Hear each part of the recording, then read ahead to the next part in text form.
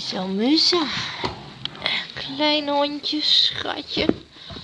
De zusjes toen in opvang gehad, maar die waren veel groter. Zo'n groter nestje. Andere pupjes waren allemaal prachtig en zo weg. Ja, zij is donker. Ze is ook niet zwart, maar ze heeft bruinig ook in de vacht.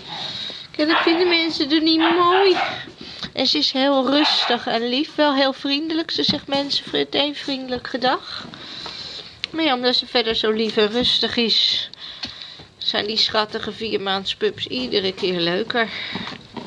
En daarom wacht ze nog steeds op een huisje. En ja, en ze verdient zo een huisje.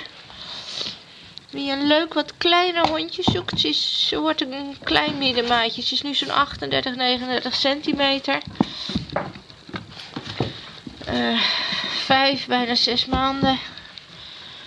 Gewoon lief, leuk. Maar ja, wel nog pup, dus moet nog veel leren. Hé? Ja, hè?